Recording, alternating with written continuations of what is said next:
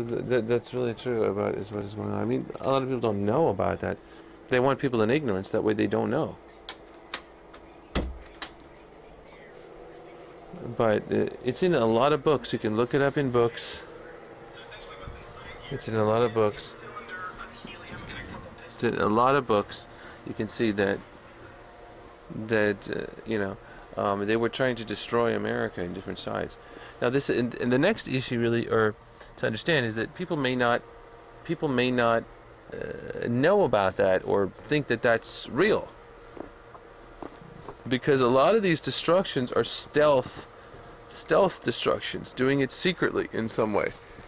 Or doing it under the appearance of something else so an outside threat right? The migrant mob is an outside threat. You know they're they're they're refugees from central america heading north in this in this migrant caravan. You know these threats are and destruction systems that they try is not necessarily obvious as to what it is. It could be masked under something else. You know the illuminati card deck they have a card deck and they could say you know nuclear destruction, you know, economic collapse, another one, you know, social strife, different of these things, which are sometimes they use people against each other for evil purposes, all this kind of stuff. So it, it's it's hard to understand at times. It's a mind game. So, but again, you know, the administration or not administration, but Trump or the executive guys, you know, telling people, the executive branch telling people, you know, about some of these things. Some people may not know that that's going on. Also, people are working all the time. They don't have time to study that, so they may not know that's going on. So, to some extent, you can educate people as to what going is what's going on, um, uh, as to what that was, is was whatever. Um, but people may not believe that that stuff is going. on. It's, you know, it's bullshit. It's conspiracy theory. But also, if there's so much on the internet coming out, so a lot of people would will believe it, and, be, and, and a lot of people will be like, "That's right. It's exactly will believe it. They will believe it. That all of these, uh, all of these, uh, you know."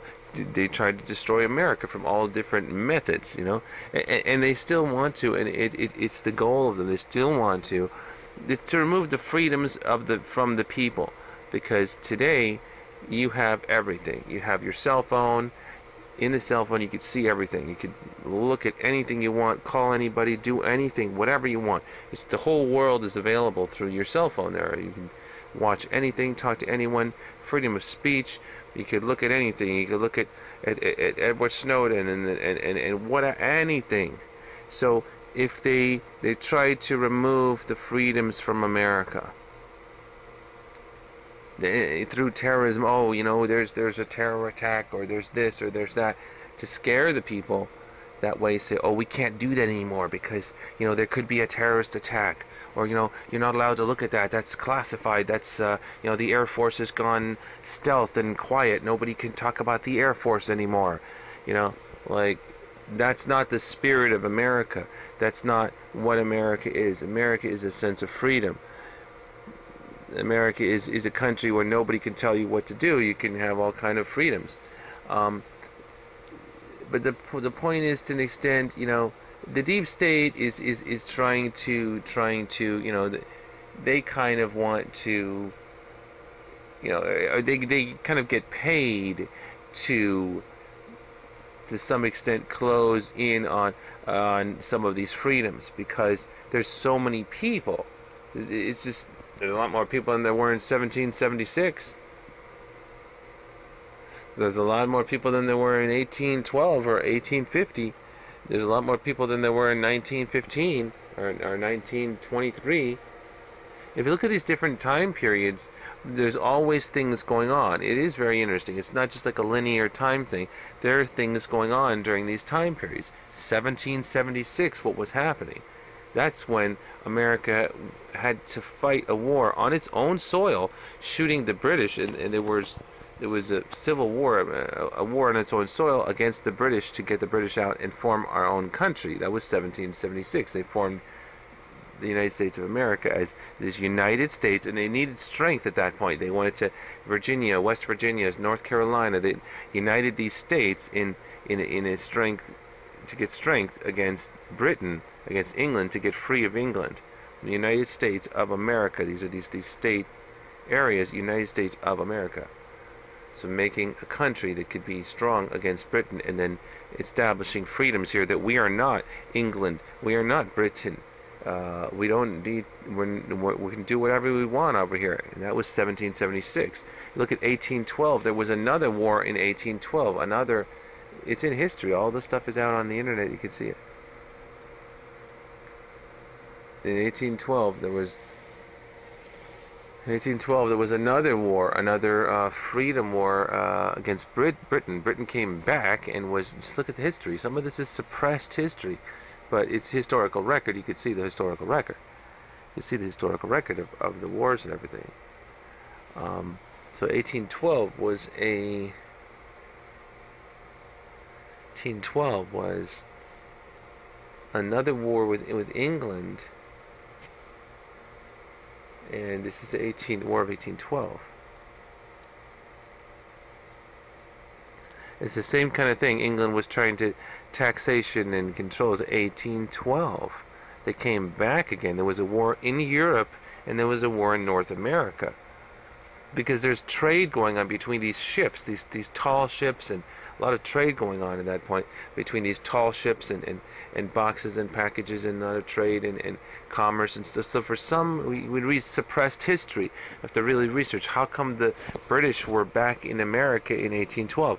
Well, the logical and obvious reason is that a lot of the settlers who were coming, who were settlers in America, are these white guys. These are these these British guys. And and, and Britain and Ireland is Ireland is very close. I, these are two islands, Ireland, Ireland, Britain. It's very close. So they came over from that direction with the ships. So there was a continual influx of more people coming over from 1770s, 1780s, 1790s, 1810, 1812, coming over there and, and building bigger harbors and building. So these are British guys. So there was some influence of British government and British commerce, and and these and some of these security guys or whatever on the ships, making sure that no pirates and nobody steals their their merchandise, which is very valuable, and.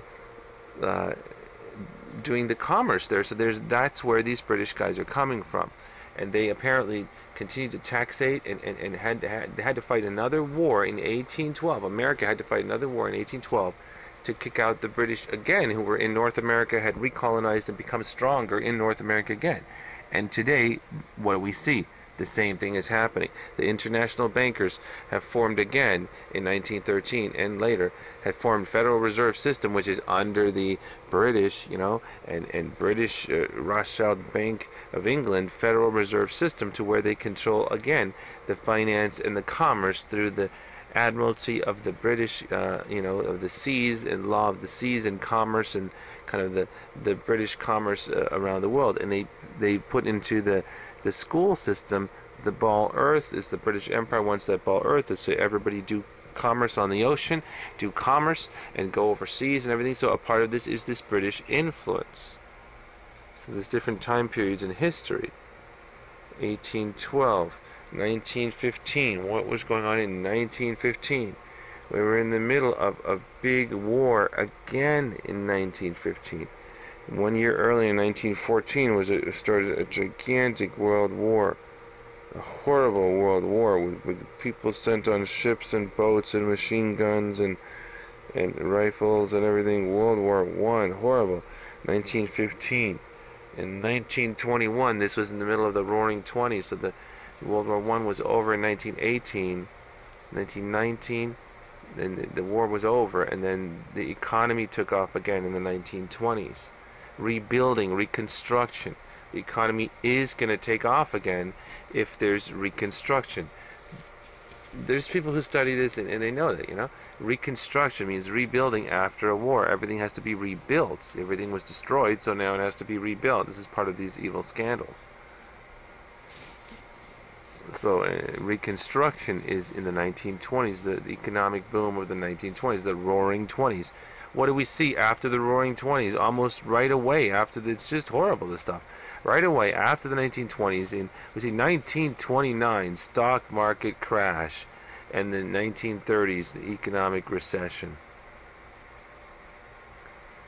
right after the roaring 20s. Economic recession, times get harder. The poverty people are most affected. In Oklahoma, the Okies, the, the poverty people are most affected, but some of the shareholders and stuff were affected. The stock market. So it's this stuff is built on fakeries. So in general, most people don't need to worry about any of this stuff.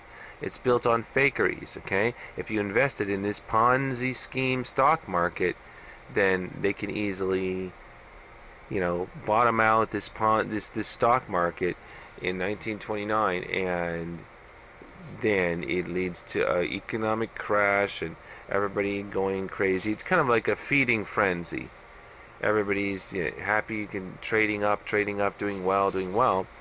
And then because the the downside of humans, the downside of humans is that they want things to do. They need things to do to be excited about and stuff. So now it becomes like a feeding frenzy of sharks. Like what is going on? What is going on? You know, and the, the stock markets are going up. Oh, they're going up. It's like these people just looking at each other instead of doing uh, their separate They work separately. So these social movements, these are social movements um, and uh, if you don't participate with these social movements, you're not affected by it.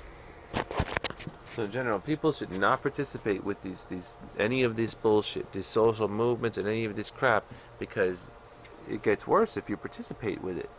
Because now you're feeding into this, uh, feeding into this uh, psychological uh, crap of whatever, some kind of social movement like Black Lives Matter, which is actually not intended to to make Black Lives Matter.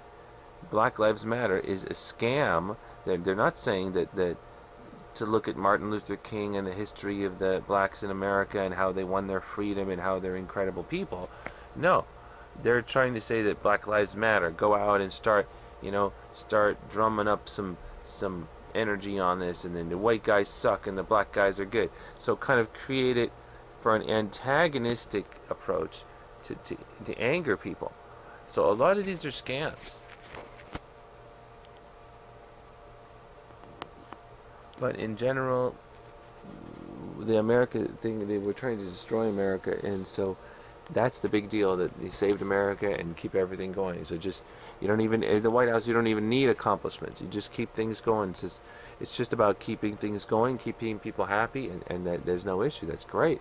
Keep the morale and the positivity going is extremely important. That's the most important thing.